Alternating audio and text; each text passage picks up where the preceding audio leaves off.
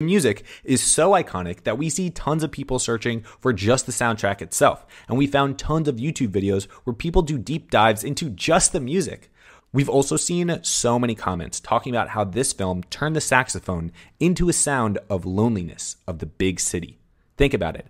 Anytime you think of anyone being lonely in a movie, it's just a drifting off sort of saxophone sound that sort of emulates this or reminds us that this is happening.